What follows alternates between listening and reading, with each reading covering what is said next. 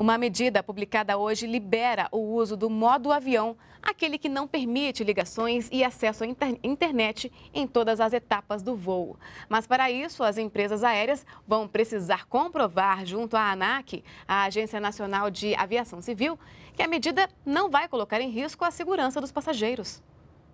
As companhias aéreas vão poder oferecer mais um serviço aos clientes.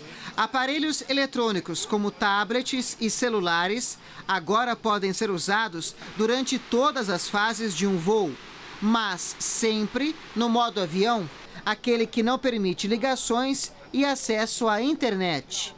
E isso é muito bom. Eu acho que facilita a vida do, do passageiro, e nesse mundo em que a gente é tão dependente de comunicação, eu acho que é importante. Os passageiros também vão poder manter, antes das decolagens e em pousos até o desembarque, os equipamentos eletrônicos ligados no modo convencional. No caso dos celulares, por exemplo, isso significa que o passageiro vai poder fazer ligações e usar a internet. A norma da ANAC segue um padrão internacional adotado nos Estados Unidos e na Europa. Mas para as mudanças entrarem em vigor, as companhias aéreas vão ter de provar que o sistema de comunicação e navegabilidade da aeronave não vai sofrer interferência e que a segurança do voo e dos passageiros não corre risco com a nova forma de usar os aparelhos eletrônicos.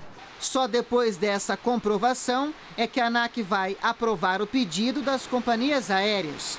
Para Delvin Roberto, esse serviço vai oferecer mais opções aos passageiros durante os voos. Tem gente que dorme, tem gente que lê livro e tem gente que usa celular. Então, não vejo, assim, a partir do momento que não houver nada que possa ocasionar algum problema, algum risco, eu acho uma boa.